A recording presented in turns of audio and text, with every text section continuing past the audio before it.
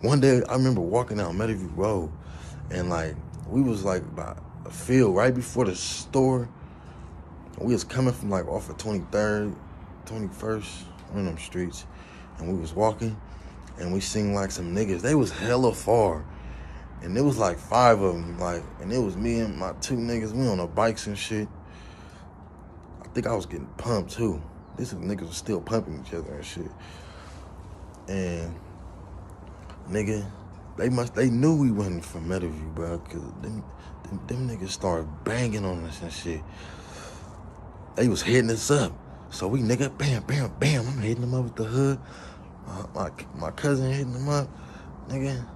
Bam, bam, bam. I mean, I mean my nigga, my niggas, they hitting them up, bam, bam. Nigga, them niggas must have looked. Hey, hey, okay, okay, them niggas ran like to a trash can that was nearby. Them niggas pulled something out. It looked the hell little. Like, bro, we just still standing like, like you, like you gonna shoot from way the fuck over there? They was that far. Like, nigga, we just got on the bike. Like, all right, fuck you, niggas. That nigga held the gun up though. We was just standing there looking like, all right, nigga. But Meadowview is Bloods, and that's six nine is to the right. If you coming from like off of Mack Road onto Meadowview in that direction, like going westbound on Mack Road. Six nine, six nine side, that's what they call it, the six nine side, and six six five is to the left. And I heard, and I didn't know like it was Meadowview Piru's until I was like locked up and shit. And I met a nigga from Meadowview Piru. So they got rules in Meadowview too, or they used to, or was the older thing, but they bloods for the most part. And Meadowview is like another big hood.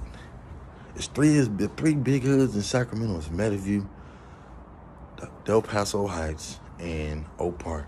And that's not even in that order, but them the three biggest hoods. Them used to be the deepest niggas and they used to go up. And they speak for the clicks and all that shit. So niggas knew who you was when they seen you. It wasn't like a group of just hella different niggas. It was like, that's them niggas right there. That's some Meadowview niggas. Or that's some Del Paso Heights niggas. Them the manor niggas. Shit like that. Like, and back then niggas wasn't singling niggas out. Nigga, yo, they, they niggas was getting on everybody.